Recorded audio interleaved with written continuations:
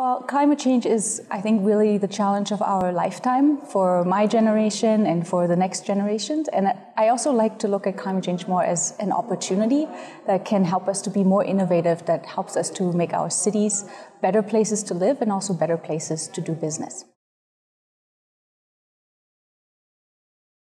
If it's one action is becoming involved in your own community and helping how we can make our communities better places, uh, addressing the risks of climate change, for example, through community gardens, car share programs,